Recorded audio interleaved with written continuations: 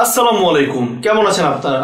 আশা করি সকলেই ভালো আছেন। আজকে আমরা আলোচনা করব মাল্টিপল পেজ নিয়ে।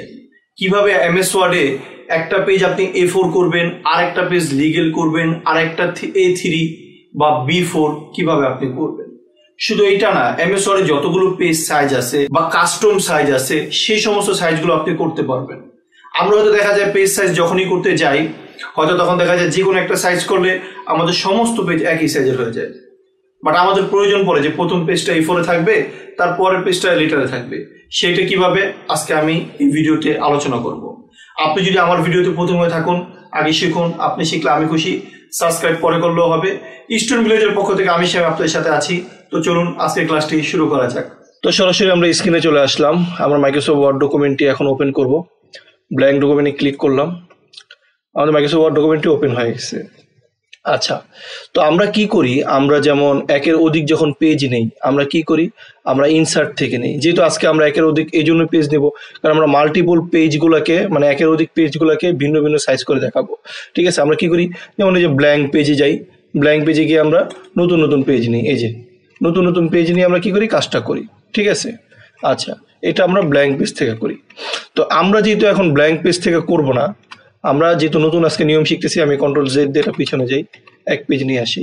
আচ্ছা আরেকটা বিষয়, যেমন আমি ব্ল্যাঙ্ক পেজ নেওয়ার সাথে সাথে কি হয়েছে পেজগুলো কিন্তু সিরিয়াল বাই সিরিয়াল পাশাপাশি আসতেছে না। যদি এরকম প্রবলেম কারও দেয়, আমরা কি করব? আমরা তখনই ভিউতে যাব। ভিউতে গিয়ে আমাদের আমাদের এই যে মাল্টিপল পেজ আছে, আমরা মাল্টিপল পেজে ক্লিক করব। এই যে পাশাপাশি চলে আসছে। ঠিক আছে?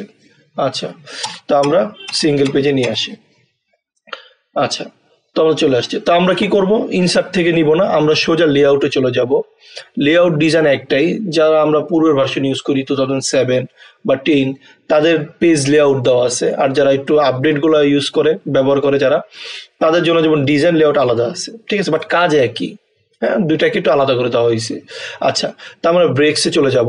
ব্রেক্সে গেলে আমরা এখানে দেখব নেক্সট পেজ তো আমরা নেক্সট পেজে ক্লিক করব। যে একটা পেজ চলে আসছে। আমরা আবার ব্রেক্সে যাই। গিয়ে আমরা আবার নেক্সট পেজে ক্লিক করব। আমাদের তিনটা চলে আসছে। আচ্ছা আমি সর্বপ্রথম পেজে আসি।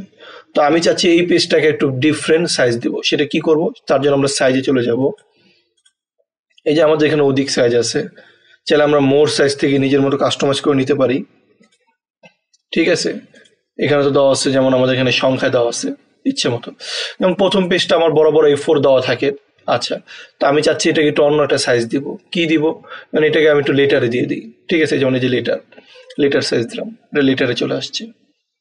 আচ্ছা তার পরের পেজে আমি ক্লিক করলাম, তার পরের পেজে ক্লিক করার পরে আমি এখানে সাইজে গেলাম। এটাকে আমি চাইলে একটু লিগেল দিলাম। যে লিগেল সাইজে চলে আসছে। একটা ছোটো করে পেজটাকে লিগেল সাইজে চলে আসছে। কি দারুণ, তাই না? আচ্ছা তার পরের পেজে আমি ক্লিক করলাম। এখানে গিয়ে আমি যেমন সাইজে গেলাম সাইজে গিয়ে এটাকে আমি এ থ্রি করে দিই। যেমন এ থ্রি সবচেয়ে বড় আর কি, মোটামুটি। আচ্ছা এই যে এই থ্রি এটাকে আমি করে দিলাম। আচ্ছা। পেজটা কি হয়ে গেছে আমাদের? এই থ্রি সাইজে চলে আসছে, তাই না? আচ্ছা। এখন যদি চাই যে না, আমরা লিগেলটাকে আবার চেঞ্জ করব, আবার এটার উপর ক্লিক করে আমরা করতে পারি। যেমন এখানে গিয়ে যদি আমি চাই, যেমন আমি এখানে লিগেলে লাগবো না, আমি এটা ইনব্লপে নিয়ে আসব। এই যে ইনব্লপ হয়ে গেছে। ঠিক আছে? বাট আমি আবার এটা গেলাম, আমি এটাকে এই থ্রি রাখব না। আমি এটাকে কি করব? আমি এটাকে অন্য একটা সাইজ দিই, যেমন মানে এই ফোরই দিলাম যে এই ফোরে চলে আসছে। ঠিক আছে? আবার এটাকে আমি ক্লিক করলাম। এটাকে ক্লিক করে আমি আবার সাইজে গেলাম। এটাকে আমি এই সিক্স করে দিলাম। ঠিক আছে? এইভাবে করে করে আমরা কি করতে পারি? পেজগুলোকে সাইজে পরিবর্তন করতে পারি। ঠিক আছে? যেটা হয়তো আমরা ব্ল্যাঙ্ক পেজ নিয়ে করতে পারব না। কারণ এক একটা সিস্টেম এক একটা ধাপে ধাপে তৈরি করা আছে। ঠিক আছে? এইভাবে করে আমরা পেজগুলোকে পরিবর্তন করতে পারি। তো আশা করি মোটামুটি সবার বুঝে আসছে আমরা কীভাবে করব। এটা হচ্ছে আমরা লেআউট থেকে যেমন এই ব্রেক্স আছে ব্রেক্স থেকে নেক্সট পেজ যে অপশনটা আছে, এখানে আমরা প্রেস করে করে পেজ বাড়িয়ে তারপরে করব। ঠিক আছে? তো বন্ধুরা, কেমন লাগল আজকের ক্লাসটি আশা করি সকলেই ভালো লেগেছে। যদি কারও কোনো প্রশ্ন থাকে বা নতুন কিছু জানার থাকে, অবশ্যই আমাকে কমেন্ট বক্সে জানাবেন। আমি আপনার সে প্রশ্নের উত্তর দেওয়ার চেষ্টা করব। আজকে এই পর্যন্তই ভালো থাকবেন। আসসালামু আলাইকুম।